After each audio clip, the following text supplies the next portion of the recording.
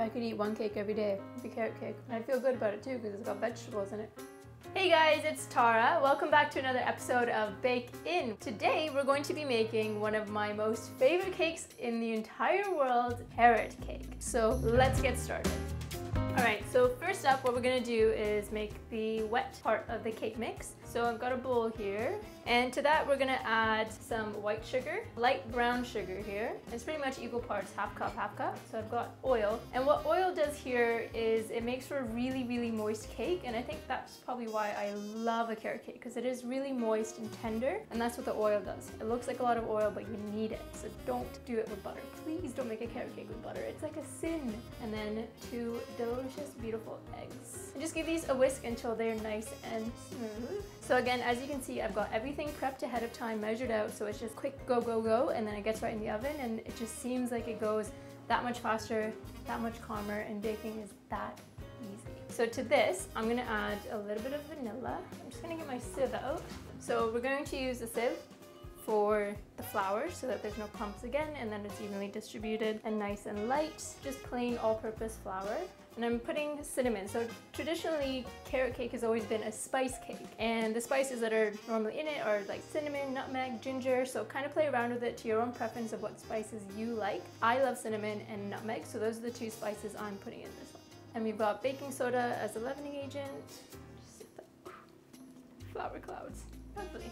Gonna add some salts and the nutmeg I was talking about. So I use, like to use fresh nutmeg because it's really fragrant, getting really nice fresh spices. But if you've got canned or jarred stuff, that's fine too, whatever you prefer, just a bit. And this is called um, a rasp, which is probably one of my most favorite tools in the kitchen, a microplane as well. I use it for grating cheese, spices, garlic, ginger, whole thing. So make yourself get one of these, they're amazing. You can see it's a really easy batter to come together.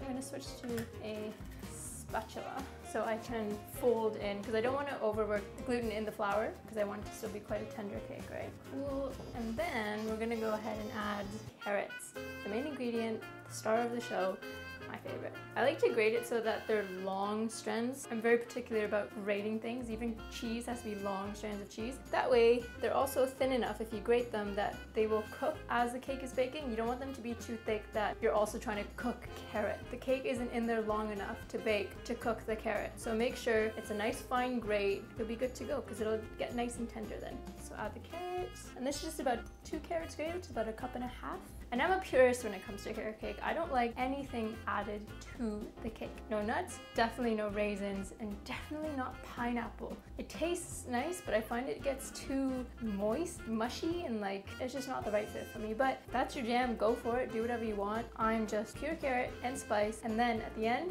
nuts on top. Just fold this through. And the carrots are gonna lend their own little bit of sweetness and a bit of moisture as well, so it's gonna be delicious super, super simple. And while you're doing this, make sure that your oven is preheated to 180, uh, 160 if you have a fan. The rack should be in the middle of the oven. So there we go, got some delicious cake batter. So what we're gonna do now is pour it into a prepared cake tin. All right, so what I've got here is a eight inch springform cake tin, but you can use any eight inch tin that you want. Doesn't have to be springform. It's just what I have and I like that it's easier to kind of take it out. And what I've done to it, you can see it's got some flour in it. So I have greased it with some butter, put down a piece of parchment paper on the bottom right here. And then I covered the whole thing in flour and just kind of dusted it around and then banged it so that there was no excess flour in the tin. And what this is going to ensure is that the cake comes out really smoothly without it sticking anywhere. Make sure you always grease, line, and flour your cake tins because you never want to mess with cake, getting it out at least. And then we'll pour the batter right in the middle, scrape it all in, and that's it. And now we're going to take this to bake in a preheated oven until it's done. And now we wait. Look at that.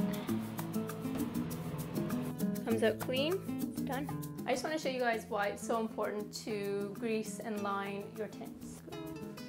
So I'm going to do is release it. And you'll see, it just slides right off. I didn't even have to scrape the sides, nothing. Clean. So we're just going to let this cool while we make the icing.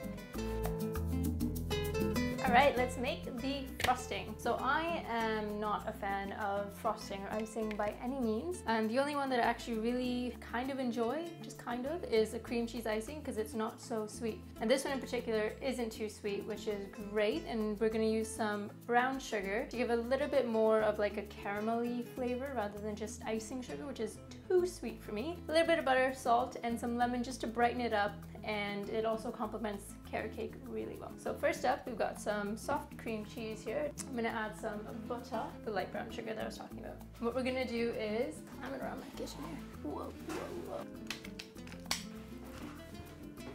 Sorry about that. All right, and to that, I'm gonna also add a little bit of salt and then just a little bit of lemon zest. And I'm using, again, that microplane, getting some nice ribbons of lemon zest. So I'm gonna do a half a lemon here, perfect. And then the juice of half of the lemon.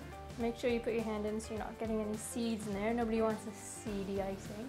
Fabulous. And now the handy dandy hand mixer, give it a mix. You want to get it uh, nice, light and airy and then we're just going to pop this in the fridge until we're ready to ice the carrot cake. So that needs to cool completely until we're ready to ice it. Otherwise it's going to be a melted mess. It smells delicious. You can smell the lemon. Oh, it's so nice. Mm, not too sweet at all. It's perfect.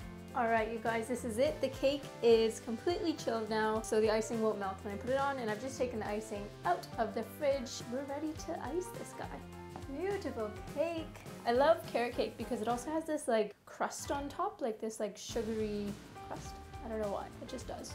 Mine does at least, but. Right, and then we've got our delicious, not too sweet, lemony cream cheese brown sugar icing. All right, let's put the last of the icing on here. And then just smooth it out. As easy as that. It can be rustic, you can do it smooth, whichever way you prefer to present it. I'm gonna do it with some swirls up top. Whatever you want, you know? Fun with it. It's your cake. Perfect. I'm happy with that. I don't want to touch it anymore, otherwise it's gonna go forever.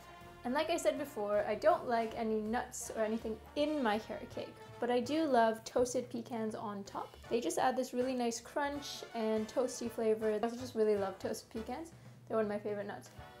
Mm, super delicious, quite subtle, so they really complement the carrot cake as well and the lemon, so I'm just gonna put those around the edge. You can double this recipe and make a two-layered cake if you'd like. You can even make this into cupcakes actually. My most fond memory of carrot cake is my mom used to bring carrot cake cupcakes to school when we had like bake sales and stuff and they were such a hit, so delicious. I'm pretty sure that's when my love for carrot cake.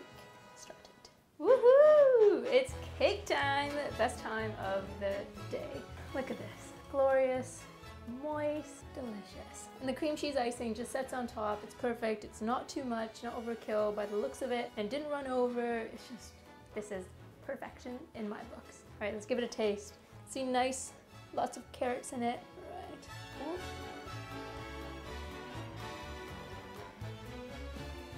Mm. You can taste the cinnamon, you can taste the nutmeg, carrots, a really, really tender cake so good. And I mean, the icing doesn't overpower with any sweetness, which is what I love. So it gives you that tang from the cr cream cheese and a little bit of lemon. Oh, I'm gonna get some pecan in this now. Mmm. Perfect tea time cake. You guys saw it didn't take too long to put together. Super easy, minimal ingredients, absolutely delicious. Thanks for tuning in to another episode of Bake In. Stay tuned for next week and uh, we'll make something else completely delicious. Oh, so good. I might eat the whole slice. The pecans actually really do it for me. If I could eat one cake every day, it'd be carrot cake. And I'd feel good about it too because it's got vegetables in it.